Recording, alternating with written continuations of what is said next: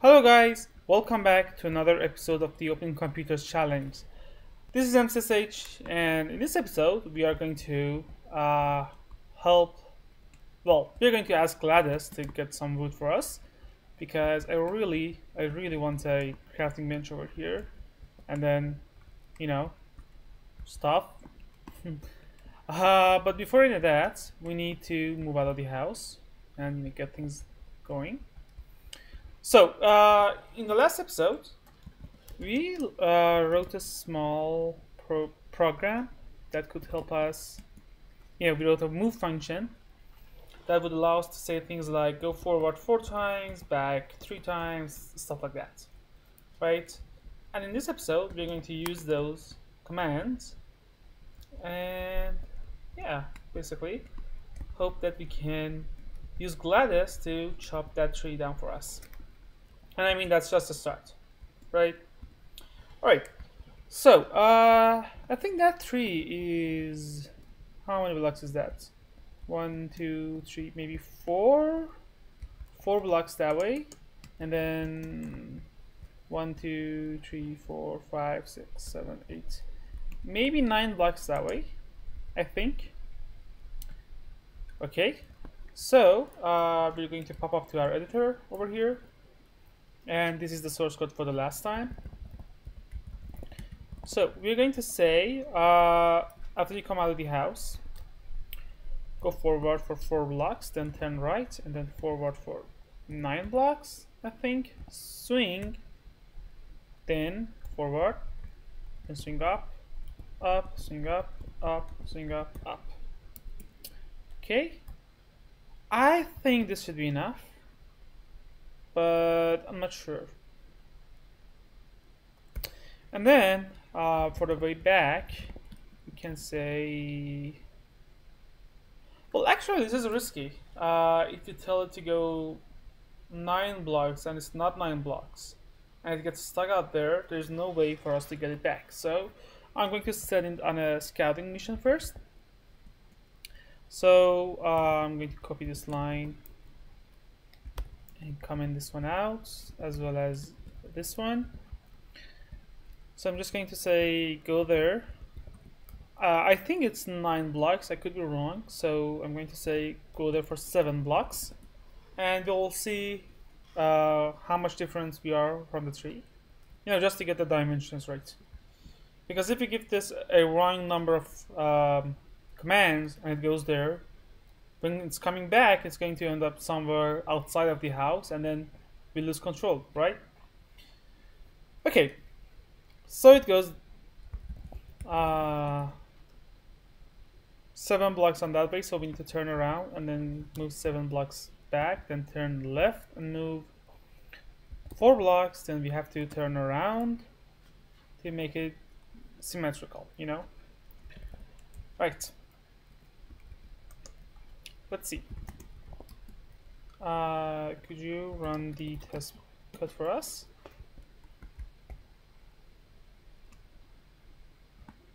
Okay. We can move to a spectator mode just to see how close it is. Oh, I think that was exactly seven blocks. So we need to go eight blocks, not nine. Right? Yeah. Okay. Let's change it here. So uh, we need to go eight blocks that way. I'm gonna comment these two and uncomment this, this. And I think uh, we were one block higher than the tree, so we can come down, uh, down one block. I guess it should be here right? Okay, so on our way back, we need to come down, how many is that? One, two, three, minus one, two blocks. So down two blocks, turn around, forward nine blocks, eight here, one here, and then turn left, forward four blocks, and then turn around. Okay? I think that should be correct. Let me just see. So yeah, maybe we can add a couple of more ups that way. How tall is the tree?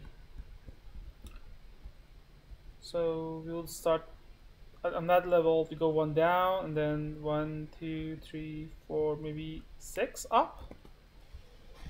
So one, two, three. I'm gonna copy this. Maybe here. Then paste it. So now instead of going down twice, we need to come down one, two, three, four, five, six, and then so five. Five. Alright. Ah, uh, crossing my fingers, let's try that. And we can go into the spectator mode to see how it behaves.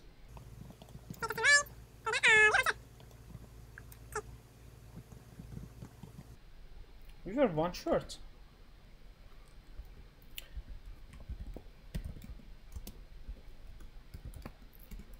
Right, that's an easy fix though. We just need to go 9 here and then 10 over here.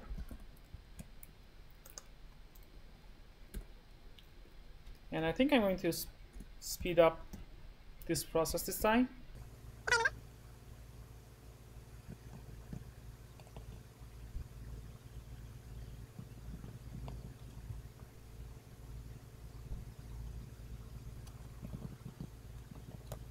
Okay, so Gladys did a perfect job and brought us 7 birch wood and 3 dirts. Okay, so that's our first upgrade. I'm going to use one of them to craft a crafting table because we need one. Here maybe. Okay, Gladys, Uh, this is getting a little bit cramped, so we need you to go out and do, you know, a bunch of more trees, right? Okay, but at the same time, here's a problem that I have with Gladys. So, um, let's say we want Gladys to actually let's open Lua and then local move require lib move right and then move that move forward once so if I say that and well I'm standing in the way of Gladys, it just keeps up right and that is going to mess up our computations if a zombie or a cow or anything else moves up in the way of Gladys.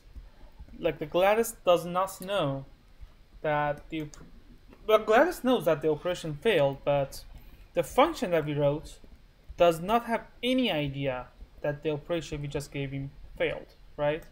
And aside from that, if I put something in front of the GLaDOS, like a dead block, and then tell him to move forward one block, it's just going to you know give up because it doesn't know anything.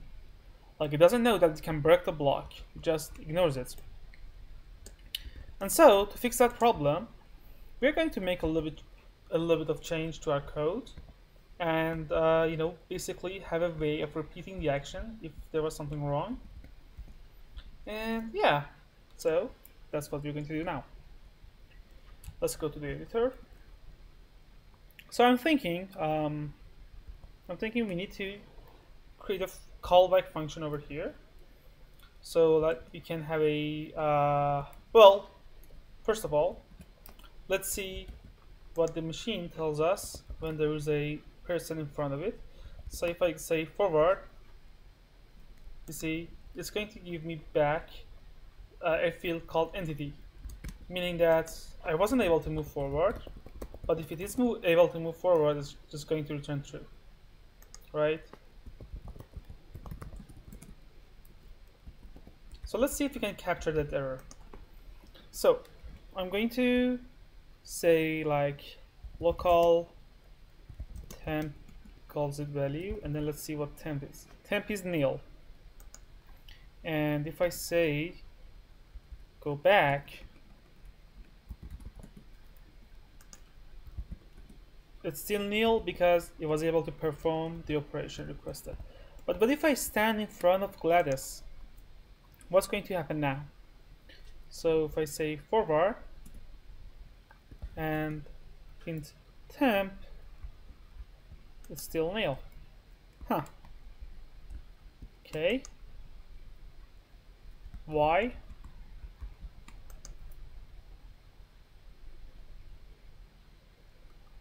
Uh, maybe, maybe I need to do it like this.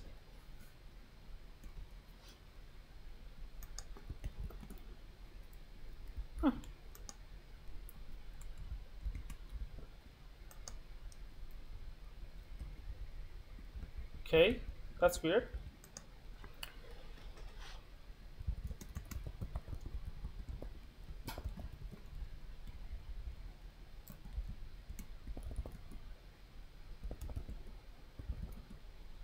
Okay, so it works like this. If I say temp and error equals robot.forward, it will capture the error as entity. What if I stand here, so nothing is blocking you? What would be the value of temp?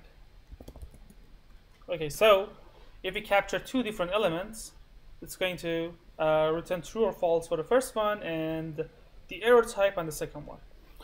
We can use that if we go back to our move function, and actually let's pause Minecraft. If we go to our move function, and let's close that one. Here, we're just calling the function, you know, without capturing any type of messages. So I'm going to capture success or error on F, and then if there was an error, we need to do something, right? Uh, so what do we what do we need to do here? Why is it giving me an error? Oh, it's if then, isn't it? Yeah, because Lua uses if then. Okay, so if there's an error, we need to do something. Uh, sorry, if it's not successful, we need to do something. And what should we do? like we are not in charge here. We, we, need to uh, tell the guys who called us that there was a problem. So we, I'm just going to define a callback function over here. And here say that, okay, look man, there was a problem. I was asked to do word, but there was a problem. No, take care of it. I don't care what you do, just take care of it somehow, right? And then so who's calling the act function? It's the move function, right? So we're just going to say, okay, give me a callback here, and then do whatever you want to do with it. And uh, for simplicity, I'm just going to define an easy callback function. Uh, I'm just going to create a file named handlers.lua and I think it's a, that's that would be the wrong folder actually. So let's move it to library handlers.lua and I'm going to create a local handlers and return it no semicolons so we we're going to have uh, to need a few different handlers here of course. The first easy one is going to be the default one. And can I do it like this? Oh no I need to do it like this sorry. So function handlers default. And then word as well as error and then the end right so depending on what the error is we need to do we need to do different things if an entity like if me or a cow or a zombie is standing in front of Gladys, let's go back.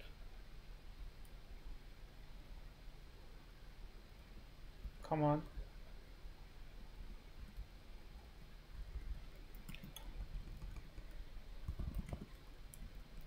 So if someone is standing in front of Gladys, the error would be entity. But if some block is standing in its way,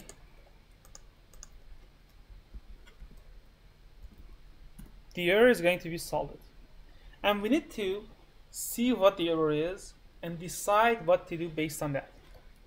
Okay, so I'm just going to say if the error equals solid, then uh, we need to mine the block out. But if the error is entity, then, and actually let's change this to else if. Is that a thing? Else if? Okay. So if it's entity, just repeat it, right? Try it again until it works out. And how do we import a library again? We need to do this.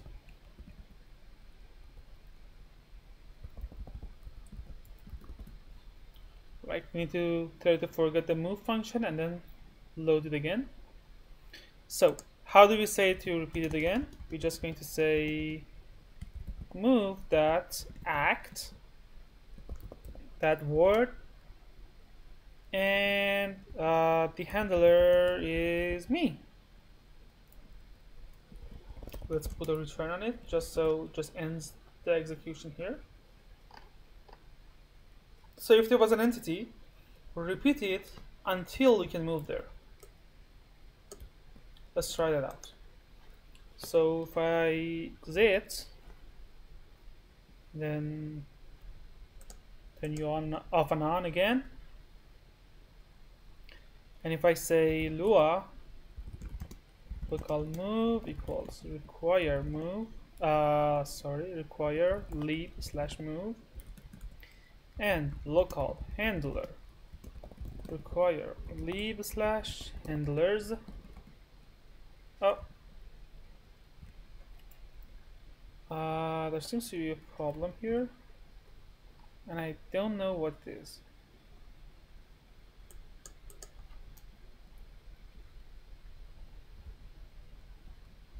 I wish we could scroll these machines, like see what the error is.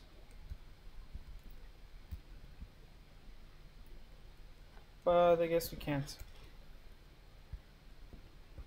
And I'm not getting any errors in my editor here.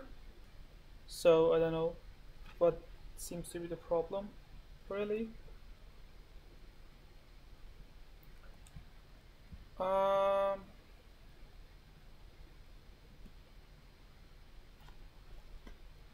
okay, is there a way I can do this maybe?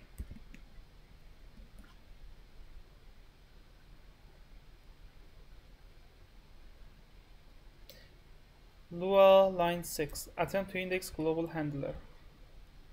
Line 6 oh because it's handlers not handler.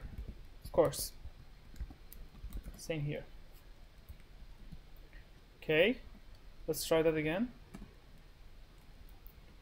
so local move lib move and local handlers lib handlers Oh.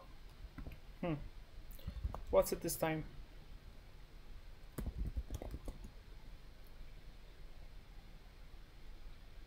Line 6. Attempt to index global handlers. Okay.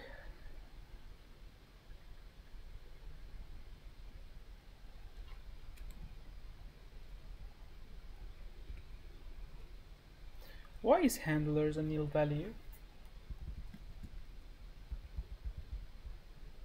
Like I think we are doing the same thing in the move function, right?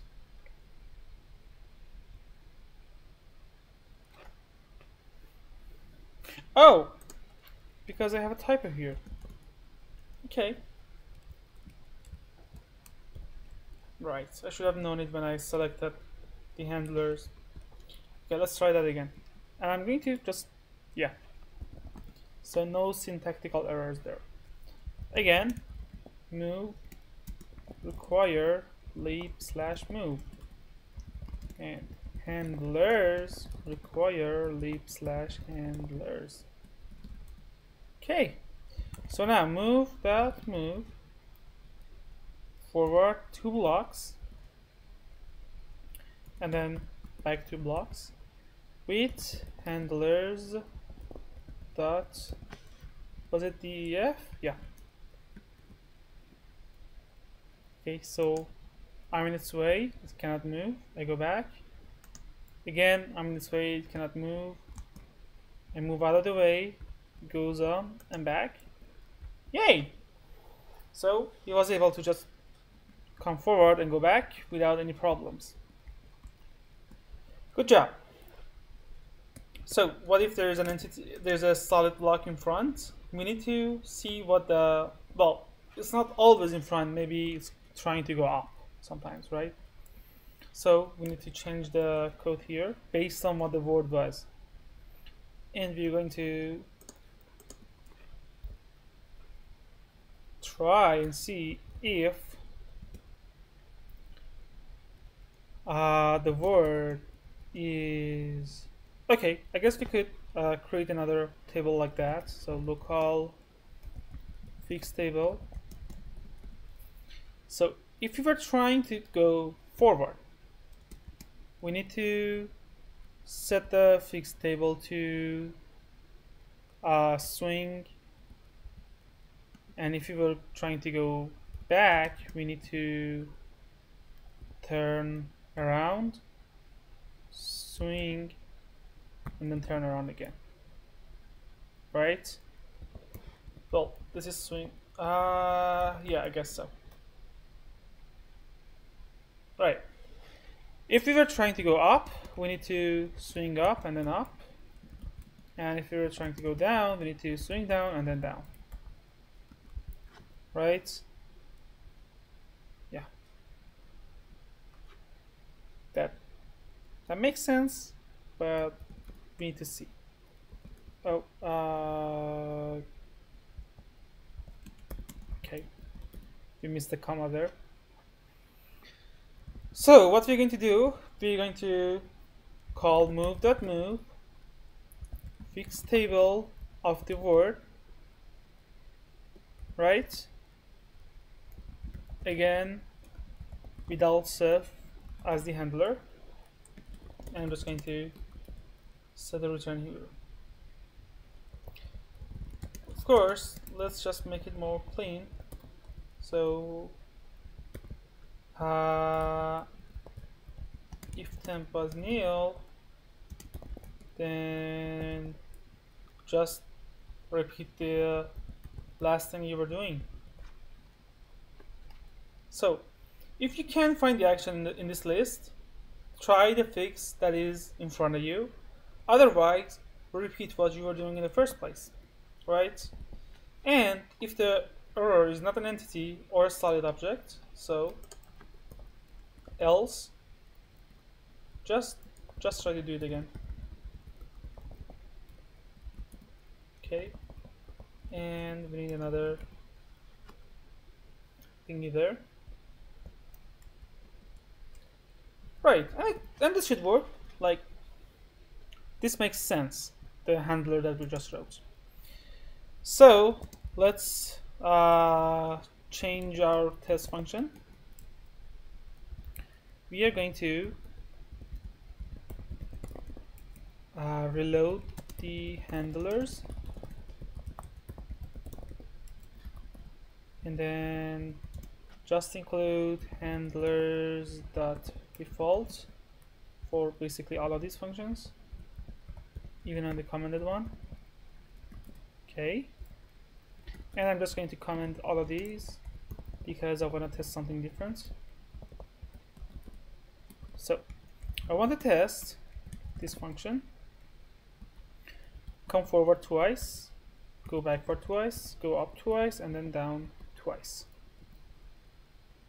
Uh, yeah Okay. So for your first challenge, there's a there's a dirt block. attempt to call local callback a nil value. Why is it a nil value? Oh, because handlers dot def.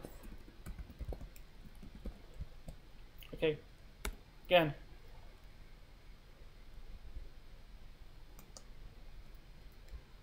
And it didn't. It did not work. Why did it not work? Let's see. So I think it just uh, it moved up to here and then couldn't run this function. So I'm just going to print and say was trying to run word got error error. Uh, that's not right. Wait how do you add two strings in uh, Lua? Is it dot dot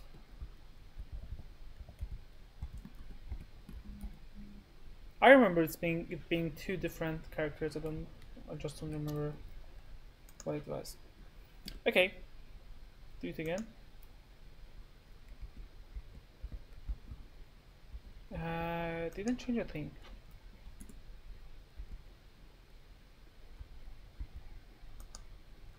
Okay, um, I didn't print anything. Is it calling the handlers function? Well, I guess it, it is because it was working for the entity one, just not the solid one. Hmm. Let's see our move function once again. So maybe I just need to turn it off and on again. You know, sometimes needs needs that. Yeah, that worked.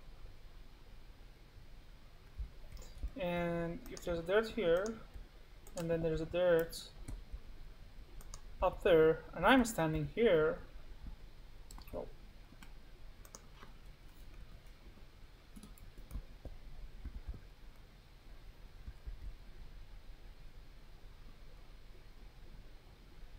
Okay, great. So I was able to break down the, the dirt. Uh, let's slip real quick. We don't want uh, mobs spawning in. Right.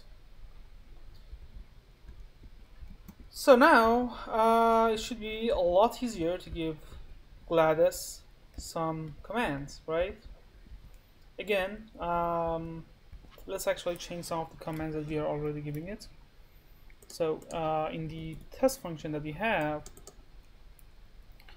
um, we don't need that anymore. And we don't need those two. Well, I'm going to keep them. We have an out function and an in function, right? And these are just temporary. I'm going to remove them later. Uh, in the out function,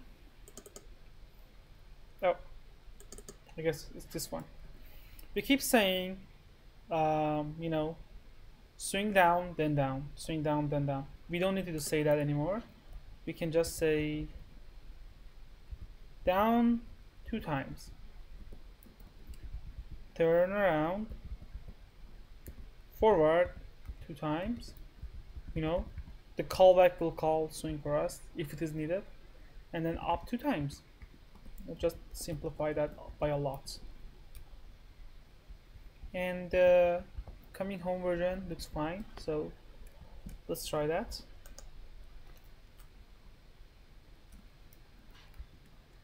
Let's see getting out. And he got stuck. Was trying to run SD got error 8. Oh, got error 8. Okay. Uh, okay, so we need to handle the error, error as well.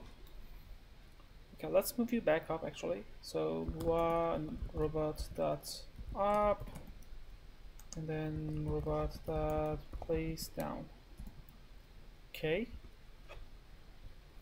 Uh, that was bad.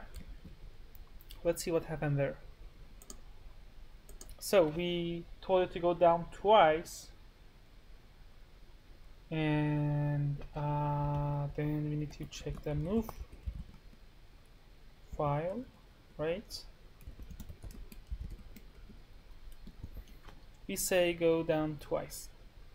It was broken down to the parameters and it was calling the move with D and the default callback. And uh, D was translated to robot down. Okay, and then for the robot down function, it tried going down once, but there was a block in the way, so it called the callback, which uh, which was this one, and was trying to run uh, down, got error solid probably the first time, and then moved to here, and we told it to go uh, swing down and then down, right? And then we ran down once but just got stuck in a loop. So why was it trying to, you know, run swing down for another time? Okay, I'm just going to add an else if here. Else if the error is solid, the error is air, sorry, sorry, uh, just try it again. I know that this isn't the correct solution. I'm just trying to see the error message, you know, here for the first time. Hmm. And don't print that every time, probably. No, this isn't going to work actually. Uh, if it was error, just move on. You don't need to do anything. Uh, it's this way right? Yeah. But why were you, why were you trying to? I don't know, man. Let's just see. So run the test function again. Trying to run the got error solid. And yeah, it just moved out. Okay.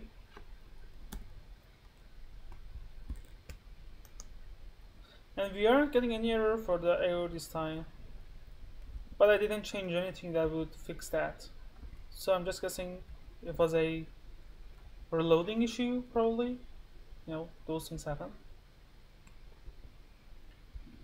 Anyway, uh, we need to chop down uh, two more trees, that one and that one. So for the first one, when you're out, um, you need to turn right and then go three blocks to the right, right? Yeah.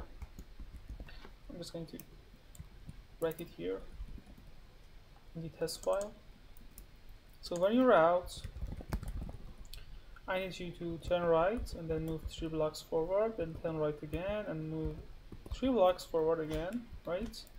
So that's there, three blocks just over the corner, three blocks, one, two, three here, which is in line with that tree then you need to turn left and then do how much is that one two three four five six seven eight nine ten I guess?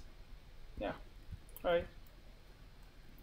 So turn left and then go 10 blocks that way. Then up for three blocks. Then down for three blocks. Right?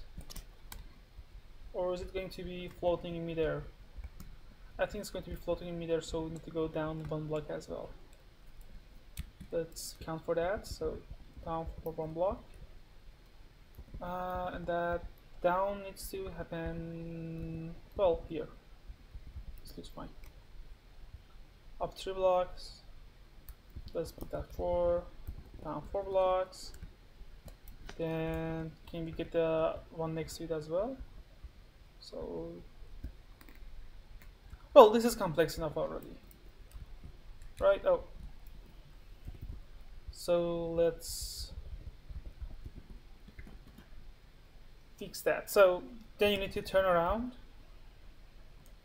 Then move up once, forward 10 times, turn right, forward 3 times, turn left, forward 3 times, and then turn right. And that should do it actually, I think. Right, so let's run you, and I'm going to go into the spectator mode.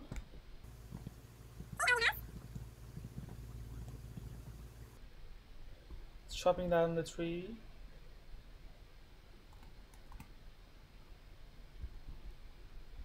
Why is it taking so long? Is it stuck here? Can't believe it. Is it really stuck here? Oh no. Oh no. What's happening? Oh, I forgot to give you the callback. Oh no. Right, I'm going to go. Jesus, this shouldn't work if I'm not giving a callback. So let's, uh, I don't know, let's go to crazy mode, I guess. Break that. No. Uh,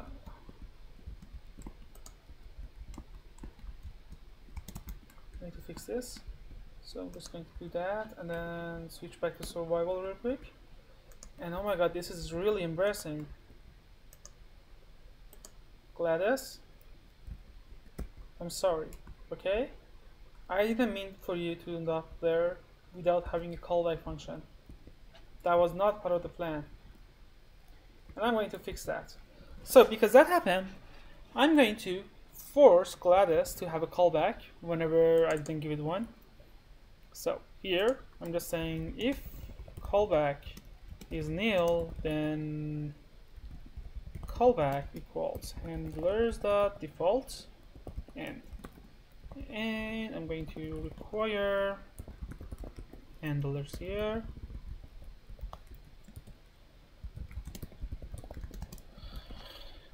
All right and yeah so whenever I'm not giving it the callback, it, sh it should just, you know, give itself the default callback here. And uh, I'm going to test it this time. So let's see this one. Without any handlers, just to see what happens. Okay, uh, buddy, you need to turn around. Okay, actually, you know what? turn around.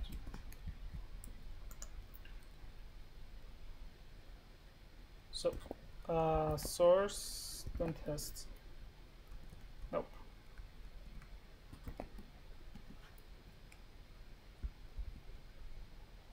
Yeah, it gave itself the default handler this time.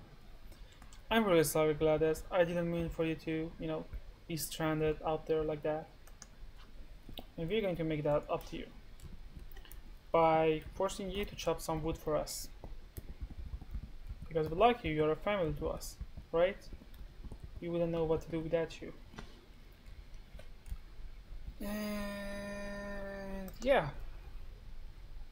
Once more. Spectator mode.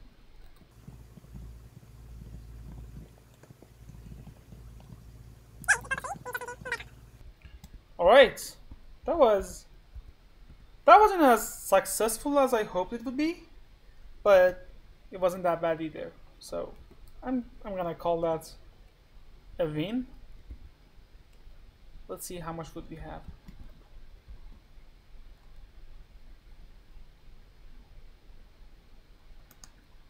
We got four oak wood and one oak sapling.